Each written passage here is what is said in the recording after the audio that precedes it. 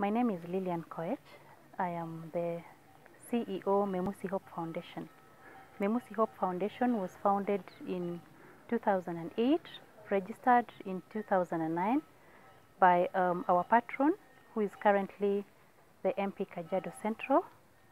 He founded this foundation so, so as to help the Maa community, to uplift the lives of the Maa community. Currently, we have come up with um, a way of um, empowering, educating, empowering, and transforming the community through a software um, development course, which we've named, it's a project, it's our pilot project. We've named it Entaisere e Kenya, which means the future of Kenya. This is a course that will take um, five, five weeks. It is a very intensive ICT course, and we have picked 34 students from uh, various parts of Kajiado Central.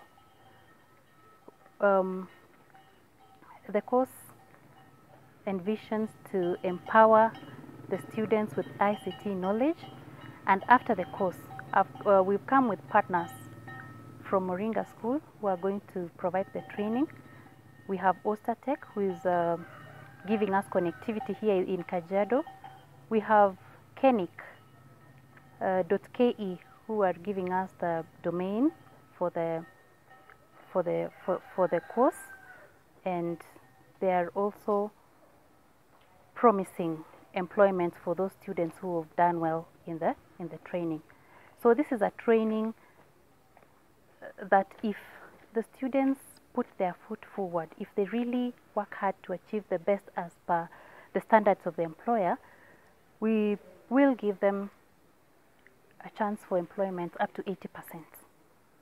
Memusi Hope Foundation is um, looking at education, educating the community, agriculture, that is teaching the community about the smart uh, climate agriculture, health issues, solving or giving solutions to the issues, health issues affecting the community, as well as the human wildlife coexistence. You know, this is a place that is, uh, we have the national parks, we have uh, the wild animals, but now we want to uh, cre create or educate the community about coexisting with the